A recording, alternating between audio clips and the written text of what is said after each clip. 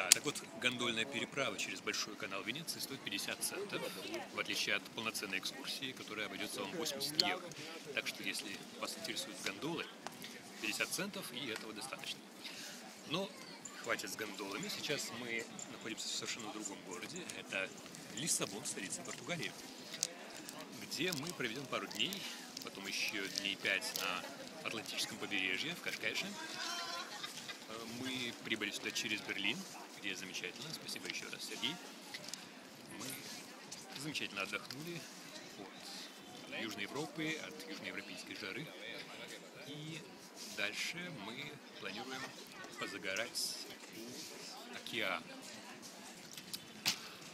Сейчас мы находимся около средневекового замка в центре Лиссабона, в историческом центре. Поделиться еще одним секретом.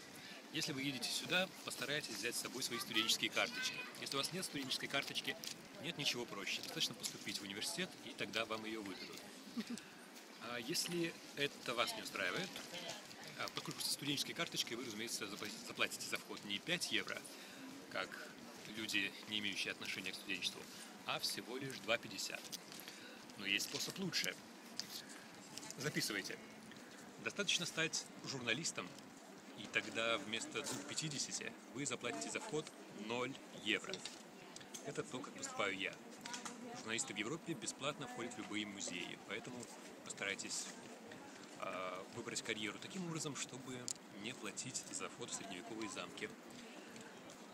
Я очень доволен выбранной профессией, как вы видите, и надеюсь, что это посещение замка будет интересным и окупит те непомерные траты, которые понес мой бюджет в связи с его посещением.